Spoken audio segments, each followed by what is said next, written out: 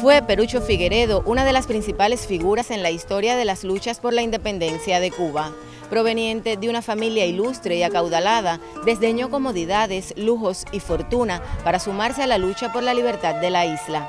Tuvo eh, el protagonismo también o la participación importante de haber formado parte del Comité Revolucionario que se crea en esta ciudad en el año 1867, exactamente el 14 de, agosto, donde se crea ese comité revolucionario y asume la responsabilidad de vocal. Vayamos de tradiciones,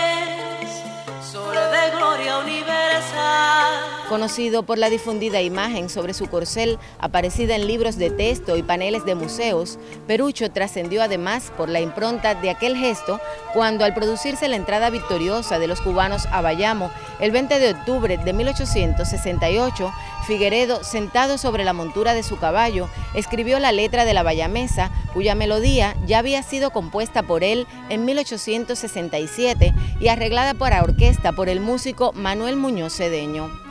A partir de entonces, sus notas presidieron todos los actos del movimiento independentista y han llegado hasta hoy como la expresión del carácter patriótico de nuestro pueblo. Y que hoy significa para todos los cubanos esa independencia de Cuba, mantener la soberanía que hemos conquistado desde eh, nuestros padres fundadores hasta la actualidad.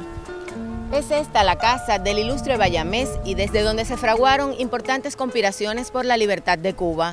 Perucho, el mayor general del Ejército Libertador, dejó su impronta aquí, en la Plaza del Himno y en toda una ciudad que lo recuerda 200 años después de haber nacido. Desde Granma, Lisette Márquez, Sistema Informativo de la Televisión Cubana.